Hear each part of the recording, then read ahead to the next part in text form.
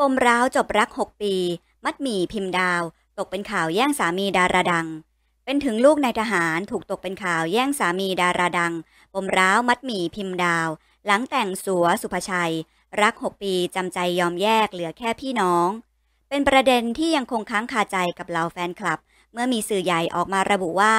ดาราพยัญชนะใส่ข้าว แย่งสามีชาวบ้าน ซึ่งเมียหลวงนั้นเป็นถึงลูกนายทหารระดับบิ๊กคบหากับฝ่ายชายมาสี่ปี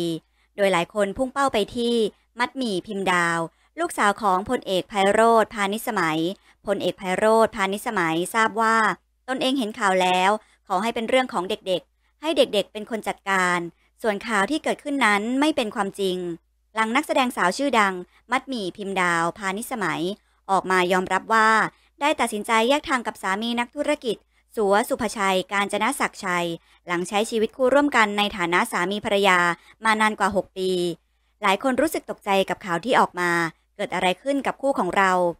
จริง ๆ มันผ่านมาประมาณครึ่งค่ะ และมัดหมี่เองก็ยังคงคุยกับพี่สัวทุกวัน ปัจจุบันเราคือพี่น้อง พี่สัวเขาเหมือนคนในครอบครัวของมัดหมี่ไปแล้ว ทั้งครอบครัวมัดหมี่ทั้งครอบครัวพี่สัว คือทุกคนน่ารักมากๆ เราอยู่ด้วยกันตลอด คุยกันถามไถ่กันตลอดเวลา เราไม่ได้เลิกกันไม่ดี ตัดสินใจแยกทางกันในลักษณะไหน ใช้คำว่าหย่าได้เลยหรือเปล่า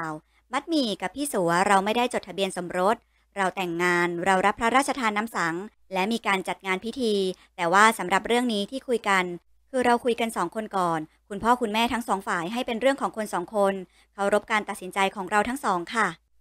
สาเหตุที่ทำให้ตัดสินใจแยกทางเกิดจากอะไรหลายคนอยากรู้สาเหตุมาก ซึ่งจริง ๆ แล้วมันไม่ได้มีอะไร มันเป็นเรื่องของความรู้สึกกับเวลาค่ะ พอเราอยู่กันไปเรื่อยๆ บางทีความสัมพันธ์ที่เป็นสามีภรรยา มันมีความเป็นพี่น้องมากกว่า เราก็เลยตัดสินใจแบบนี้กันทั้งคู่ ในอนาคตจะมีโอกาสกลับมาเป็นเหมือนเดิมได้ไหม อันนี้มันเป็นเรื่องของอนาคต และอีกอย่างหนึ่งคือมัดหมีเชื่อเสมอว่า ถ้าวันหนึ่งเขาใช่ก็คือใช่ แต่ทุกวันนี้เราก็ยังคุยกันอยู่ ไม่ได้มีปัญหาเรื่องมือที่สามไม่มีค่ะ ไม่มี เรื่องทายาทมีส่วนในการตัดสินใจด้วยหรือเปล่า มีคนถามเยอะมากเลยค่ะ เรื่องมีลูก คือมัดหมี่เองก็อยากมีนะคะ เพราะมัดหมี่ชอบเด็ก แต่ตอนนี้ก็เลี้ยงหลานไปก่อนยังไม่มีทายาทค่ะ เหมือนเราเองก็ผ่านช่วงเวลาทำใจมาแล้ว จริง ๆ มันผ่านมาครึ่งปีแล้วค่ะ และอีกอย่างคือเราทั้งสองคนไม่ได้มีปัญหาอะไรกันเลย ฉะนั้นทุกอย่างมันก็เลยโอเค ที่ผ่านมาคู่ของเราดูเรียบง่ายและลงตัวมาตลอด จนหลายคนไม่อยากเชื่อว่าจะมีวันนี้ มัดหมี่มองว่าความรักระหว่างมัดหมี่กับพี่สัว มันสามารถมีได้หลายรูปแบบ เรารักแบบสามีภรรยาได้ เรารักแบบพี่น้องได้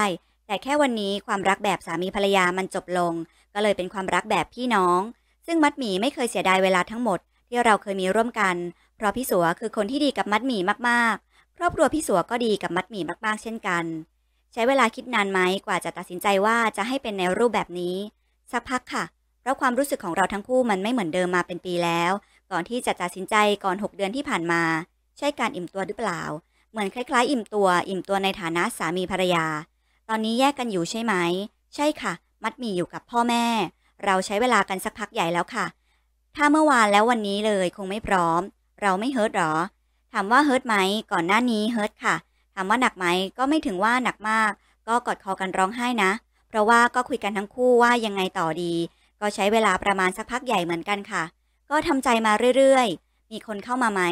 มีคนเข้ามาค่ะ แต่ว่ามัดหมี่คุยปกติ ยังไม่ได้คุยแบบยึดติดแบบนั้นมันต้องใช้เวลาค่ะ คือเปิดใจนะ แต่ยังไม่พร้อมขนาดนั้นค่ะ เป็นคนนอกวงการค่ะ แต่ว่ายังไม่ได้อะไร